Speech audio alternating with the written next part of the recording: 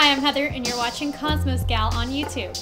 Hey, Capricorn, here's your horoscope for Tuesday, September 25th, 2012. Now, the moon's still transiting your second house. Stay away from large purchases. You may feel like doing some retail therapy today, but it's best to leave that Amex at home. That's your horoscope for today. Tune in tomorrow.